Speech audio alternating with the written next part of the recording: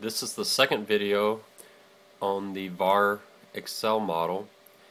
This video starts from the point where you've run all your points that you want to run.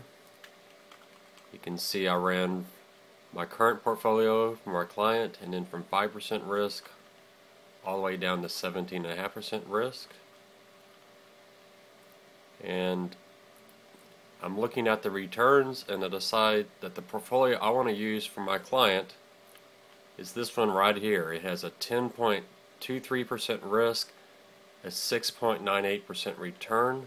That compares to our starting point, which was also the same risk, but a much lower return.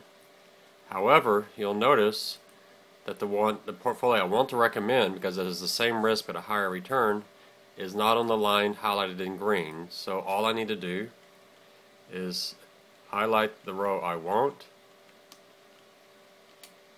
so whichever of these portfolios you choose, copy, Control C by copying, right click on the line that's highlighted in green, do paste specials, values, hit OK, and you'll notice when you do that, that when you go over to the graphs to the right, so just cursor over to the right, you'll notice that the graph now shows your starting portfolio and your recommended portfolio your recommended asset allocation, your current allocation is all correct and you can see that if you click on the pie chart and do select data you'll notice that the row that it is highlighting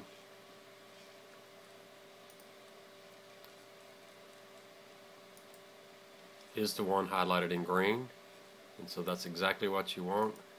So but just double check to make sure. But now all your charts all the charts that you need are there to the right of your data. So you've got the efficient frontier chart that shows the efficient frontier, your recommended allocation, and your current allocation. It shows your current allocation uh, pie chart versus your so your recommended versus your current on the asset allocation. So now you have everything you need, and so save this file, and this would be your final your final uh, file.